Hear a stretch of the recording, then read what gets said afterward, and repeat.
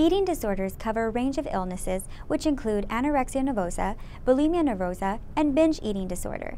People with these disorders are unable to change their behavior even though they're harming themselves. Those suffering from eating disorders typically become obsessed with food and their body weight. Some symptoms of eating disorders may include extreme thinness, unwillingness to maintain a normal or healthy weight, intense fear of gaining weight, compulsive exercise, and binge eating. The exact cause of eating disorders is unknown. Many factors may be involved, such as genes, hormones, as well as social attitudes. Women are more likely to have eating disorders than men.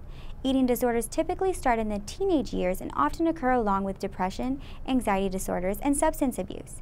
Eating disorders can lead to heart and kidney problems and even death. Getting help early is important. Treatment for all eating disorders involves psychotherapy and learning healthy behaviors. Antidepressants such as fluoxetine and escitalopram have been shown to help as well. Lifestyle changes will include maintaining a healthy weight and body image and maintaining a rational approach to dieting, food, and exercise.